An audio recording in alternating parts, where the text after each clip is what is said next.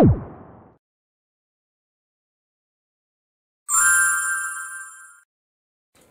さんこんにちは。ジャパンタイムズ ST 編集長の高橋です。さて、今週も始まりました、ボキャビルカレッジ。今回はですね、こちらのジャパンタイムズ ST の最新号の中から大切なボキャブラリーをですね、一つご紹介していきたいと思います。さあ、今週はこちらの記事からボキャブラリーを見ていきましょう。さあ、世の中の様々な問題に関して、えナオミとデイビッドがですね、英語で意見を戦わせるえ point counterpoint のコーナー。もうまさにこれぞ議論というですね、えー、二人がこの論戦を繰り広げておりますので、えー、ぜひともですね、えー、こちらのコーナー、皆さんご覧いただければと思います。さあ、この詩は何かと申しますと、え交通事故の問題を取り上げております。まあ、特にですね、え高齢者ドライバーの交通事故と、えそういったテーマに関してですね、え2人が議論をしております。さあ、その中に、えこういったセリフが出てくるんですね。えちょっとこちらご覧ください。さあ、こちらに書いてありますけれども、えこれはですね、ナオミがデイビッドに対して言ったセリフですね。Your statements あなたの発言は何かって言ったら sometimes contain 時には含んでることがあるんだと。何をかって言ったら a grain or two of truth さあ、こんな風に言ってるわけですね。さあ、というわけで、今週はですね、先ほど出てきた grain えこの言葉についてですね、え勉強していくことにいたしましょう。さあ、それでは例によってこの grind という単語、えまずは意味から確認していくことにいたしましょう。えこれは名詞で使われて、えまずはこの意味、えしっかりと押さえておきましょう。え穀物とか穀類。えこういった意味がありますからね。え例えば米とか、え麦とか、まあ、他にもトウモロコシなんかもね、えこういったものに入りますけれども、え grind には穀物とか穀類。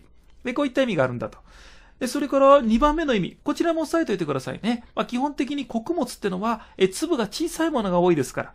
え、ですから穀物って意味から転じて、まあ、米とか塩とか砂なんかの、え、そういった細かいものの一粒と。えこういった意味を表す用法もありますからね。はい、えというわけで、グラインに関してはですね、えこの2つの代表的な意味を、え今回はですね、えしっかりと押さえておきましょう。さあ、それでは続けて grind という単語の使い方。いくつか見ていくことにいたしましょう。えまずは先ほど1番で見た、え穀物って意味の grind。えこれに関してですね、え用例をいくつか見ていきたいと思います。え例えばこんな風に使われますよ。The country imports. えその国は輸入してるわけですね。え何をかって言ったら most of its grain ですから、要するに、えその国は穀物の大半を輸入してる。まあ、輸入に頼ってると。えこう言ってるわけですね。えこのようにグラインっていうのは、まあ、米とか麦みたいな穀類とか穀物。えこういったものを指す用法がありますからね。えしっかりと押さえておきましょう。他にもこんな例文を見ていきましょうね。what grain is used? えどんな穀類が使われてますかって言ってるわけですね。え何をするためかって言ったら to make bourbon。えバーボンを作るために。要するに、え意味としてはこんな感じですね。えバーボンを作るのに使われるえ穀類は何ですかと。えこう言ってるわけです。以上、このようにグラインはですね、穀物とか穀類って意味を表す用法がありますから、まずはこれについてですね、しっかりと皆さん、押さえておきましょう。それから、先ほども言った通りですね、グライン、穀物とか穀類っていうのは基本的に粒がちっちゃいですから、そこから転じて何か小さいものの一粒と、そういった意味を表す用法もグラインにはありましたね。例えばこんな風に使われますよ。he didn't leave ですから、彼は残さなかったって言ってるわけです。何をかって言ったら、a grain of rice ですから、えご飯を一粒も残さなかったと。on his plate。まあ、お皿の上にと。要するに、えこういったことが言いたいわけですね。え彼は皿の上に米粒一つ残さなかったと。えこんな風に、グラインはですね、穀類って意味から転じて、え小さいもの一粒と。えこの場合だったら、a grain of rice ですからね。えこれで、お米を一粒ってことです。これすらも、え残さなかったと。えこう言ってるわけですね。というわけで、えこういった用法に関しても皆さん大丈夫ですか？では、ここまでしっかりと押さえたら、えもうちょっとこれについて発展させていきましょう。で、実は、この a grain of 直訳すると、なんとかの一粒って意味ですけれども、そっから転じて、一かけらのとか、えわずかなと、えそういった意味を表す慣用句としても使われるわけですね。で、実は、一粒っていう文字通りの意味で使うよりも、a grain of。こんな風に一かけらのとかわずかな。こっちの意味で使うことの方が多いですからね。しっかりとこの表現。今回は皆さん押さえるようにいたしましょう。え例えばこんな風に使われますよ。there was not. なかったって言ってるわけです。え何がなかったのかって言ったら、a grain of truth。一粒の、要するに、一かけらの真実すらなかったって言ってるわけです。え何においてかって言ったら、in fact he said。彼が言ったことには。要するに、続けるとこういった意味ですね。え彼が言ったことには、一かけらの真実もなかったと。先ほども言った通り、a grain of 直訳すると、なんとかの一粒って意味ですけれども、そこから転じてですね、一かけらのとか、わずかなと。こういった意味を表す用法もありますからね。この場合も直訳すると、一粒の真実すらなかったと。要するに、真実が全くなかったと。こんな風に言ってるわけですね。というわけで、この表現、皆さん大丈夫ですか？それでは、もうちょっと例文見ていきましょうね。続けてこんな例文です。さあ皆さん、この文章意味わかりますか？ちょっと考えてみましょう。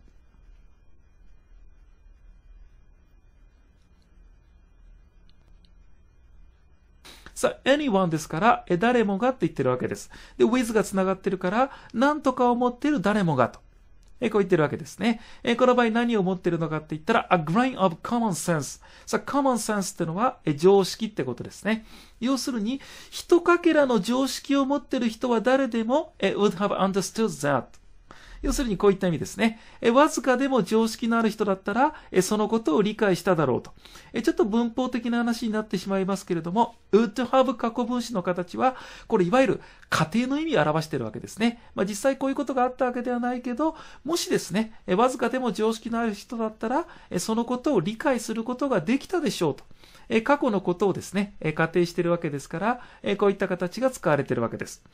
ただ大事なのは、この a grain of えこの表現ですからね。えこの場合何かって言ったら、後ろに common sense、常識をつなげて、一かけらでいいから、わずかでも常識があるんだったら、えそのことを理解しただろうと。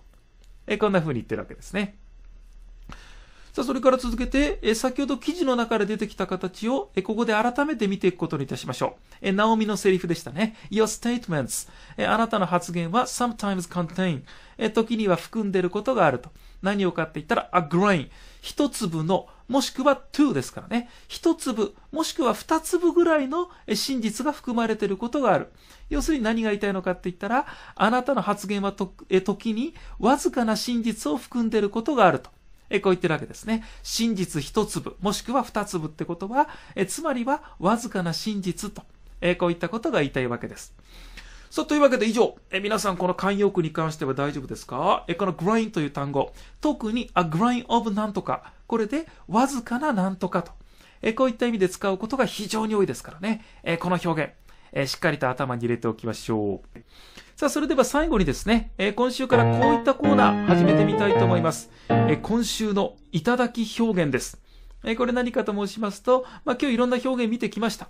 まあ、全て大事なんですけれども、えその中でも特にですね、え皆さんにしっかりと押さえていただいて、えそしてご自分でも使えるようになっていただきたい表現、えそういったものをですね、え今週からこのいただき表現のコーナーで、えまとめてみたいと思います。さあ、今週このいただき表現として取り上げるのは、こちらですね。There's not a grain of truth in なんとかと。これさっき例文の中で出てきましたね。これでどんな意味かって言ったら、なんとかには一かけらの真実もないと。こういった意味でしたね。a grain of。先ほども言いました通り、直訳すると一粒のって意味なんですけれども、ここから転じてですね、一かけらのとか、わずかなとか、そういった意味で使われましたね。で、この a grain of、特に後ろに truth、真実をつなげて a grain of truth、この形で使うことが非常に多いですからね。おそらく後ろには truth がつながるってパターンが一番多いんではないかと思います。それからついでにもう一つ言わせていただくと、a grain of truth。これ特に否定で使うことが多いですからね。否定の文脈で使って、なんとかには一かけらの真実すらないと。この形で使うことが非常に多いですから、ぜひと皆さん、えこの形でですね、頭に入れておいてください。これがしっかり頭に入ってれば、陰の後ろにですね、え何かしらの単語とか表現をつなげてやれば、これ即文章を組み立てることができますからね。えこれで何とかには、全く一かけらの真実もないんですよ、と。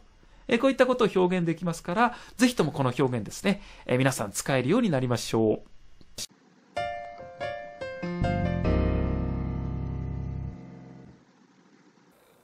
そう、ニュースファーストバースファーストコーナーです。え今週は例によってこのコーナーでは、え最近ニュースでよく目にする言葉を、えご紹介していきましょう。さあ、今週取り上げたいのは、こちらの言葉です。フィーチャー。さあ、皆さん、これ見たことありますか、まあ、これ自体は決して新しい言葉ではないんですけれども、えここ最近ですね、えしばしば、えニュースでよく目にするようになりました。えこれで一体どんな意味かと申しますと、こういった意味なんですね。さあ、このヒジャブ。え何かと申しますと、えこれ皆さんご存知かと思いますけどね、イスラム教徒の女性が人前に出るときにですね、頭を覆うようなスカーフ、こういったものを身につけたりしますけれども、それを指しているわけですね。えちなみに彼女たちが身につけるこうしたスカーフとかベールっていうのは、実はいくつか種類があるんですね。えー、例えば、え目しか露出してないようなものであるとか、えそれこそ顔が全部隠れるようなタイプのものもあるんですけれども、えこのヒーチャーは何かと申しますと、えこちらの写真に出てる通りですね、まあ、顔全体が露出するようなタイプ。まあ、頭をぐるっと覆うんですけれども、え顔自体は露出していると。えそういったタイプを特にヒーチャー、えこんな風に呼ぶことが多いですからね。さて、えこのヒジャブという単語、えなぜこれがニュースになっているかですけれども、え皆さんこういった画像、え見たことないですかね？トランプさんに抗議する集会で、このイラストを抱えて抗議してると。そういった場面をですね、テレビとか新聞でご覧になったことがあるかもしれないですね。さあ、一見してわかる通り、女性がヒジャブを身につけてるんですけれども、それが正常期、アメリカ国旗で作られてますね。要するに、このイラストが意味していることは何かというと、まあ、ある種イスラム教徒の象徴であるヒジャブを正常期で作ると。で、それを身につけることによってですね、もうアメリカ人もイスラム教徒も一緒になりましょうよと。もう一つですよ。一つになろうよと。そういったメッセージをこのイラストが伝えているわけですね。で、このイラストがソーシャルメディアなんかでバッと広がりましたので、現在ではですね、こんな風にアメリカ国旗をヒジャブのように巻いて抗議集会に参加すると。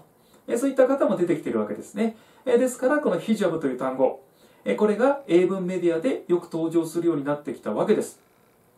え、ちなみにですね、え先ほどご覧いただいたイラストですけれども、えこれ実はモデルがいるらしいんですね。